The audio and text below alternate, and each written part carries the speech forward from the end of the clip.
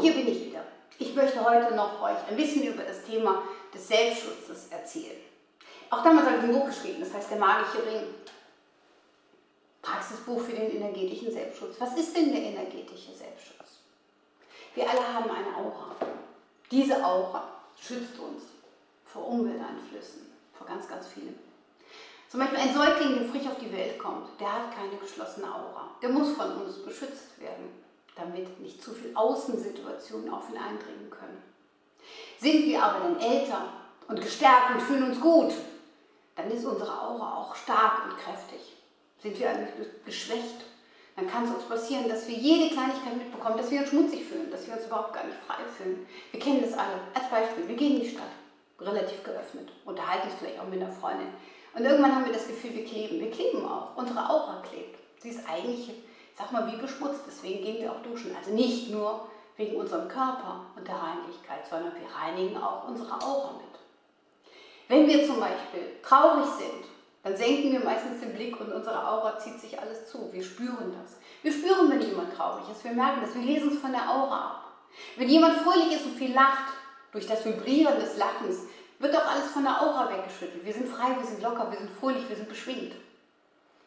Wenn ich ein wichtiges Gespräch habe, wo ich nicht weiß, wie mein Gegenüber mir gegenübertreten will oder wird, aber irgendwas von mir will, was ich vielleicht gar nicht geben will, dann muss ich mich stärken. Ich muss mir dessen bewusst werden. Ich muss gucken, wie ich damit umgehe.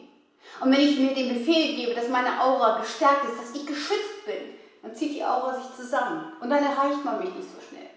Andersrum, wenn ich mit meinem Herzpartner in Liebe schwelge, wenn ich mit den Zärtlichkeiten austausche, dann öffnet sich meine Aura und ich lasse Gefühle zu und verbinde mich mit meinem Gegenüber. Bis hin zum, naja, wie man das möchte.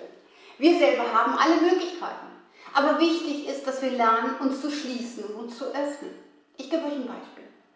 Wenn ich mit meinem Partner zusammen bin, dann öffne ich mich, weil ich die Energien des anderen wahrnehmen will. Ich möchte einen Energietransfer. Aber dann, nach dem Energietransfer, muss ich wieder auf meinen Platz gehen und mich auch wieder schließen und reinigen. Sonst bleibe ich immer offen. Es gibt viele Menschen, die bleiben offen. Dann haben sie immer den Sehnsucht nach dem, nach dem Partner. Eine Wahnsinnssehnsucht und auch eine Verlustangst. Der Partner ist zum Beispiel auf der Arbeit und die Partnerin fühlt sich ausgelaugt. Sie weiß nicht, wie sie abschalten kann. Sie klopft permanent bei ihm an und fragt an, hey, bist du noch da? Und er sagt, ja, aber ich bin gerade im Meeting. Ich kann jetzt nicht an dich denken, weil ich habe hier jemanden gegenüber sitzen, der verlangt von mir eine Härte, eine Disziplin. Der verlangt von mir klare Worte. Der möchte, dass ich mich auf meine Arbeitssituation konzentriere. Privat ist privat. Geschäft ist Geschäft. Das wissen wir alle. Und je nachdem, wie wir uns einstellen, dementsprechend treten wir auch auf. Wollen wir etwas präsentieren, dann ist wichtig, dass unsere Aura strahlt. Wollen wir nicht gesehen werden, dann ist es wichtig, dass wir uns zurückziehen. Und es wird passieren. Wir können spielerisch damit umgehen, wir können es trainieren. Oftmals ist es ein Automatismus, wie unsere Aura reagiert. Ob wir geöffnet sind oder geschlossen sind, ob wir uns im Schutz befinden oder uns hilflos ausgeliefert fühlen. Es liegt allein an uns. Wir können uns programmieren, wir können uns trainieren, wir können uns schulen, wir können alles tun, was wir wollen. Aber es liegt an uns. Wichtig ist, dass wir bewusst sind. Und je bewusster wir sind, je klarer wir sind, desto deutlicher werden wir uns wahrnehmen und spüren. Und darum geht es.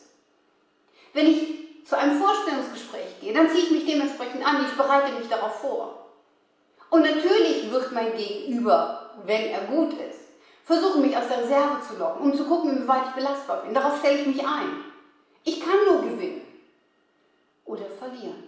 Wenn ich aber schon mit dem Gefühl der Angst hingehe, habe ich schon verloren.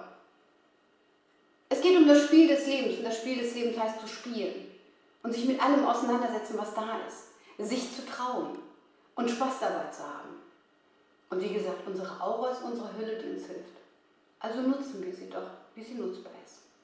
Ich danke euch fürs Zuschauen. Bis bald.